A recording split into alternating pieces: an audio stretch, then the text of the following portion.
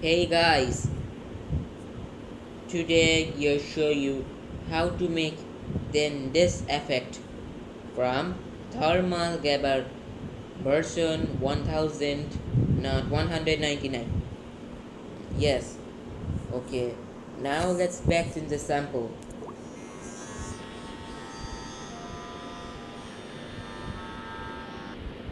Okay now open the video pad with UAD this is it. And now my effect in this uh, instructions right now.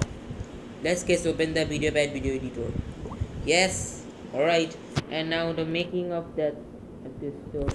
Under the we under the temperature 1 to 8 and now that's audio effect and, and we close that the reverb and will you do not not okay and now the let's go into 99 and why not? Yes it's okay. And now this 99 10 and okay now let's go into chicken back that and now you're done. Okay the, the making of the effect from thermal version 19 199 let's play the sample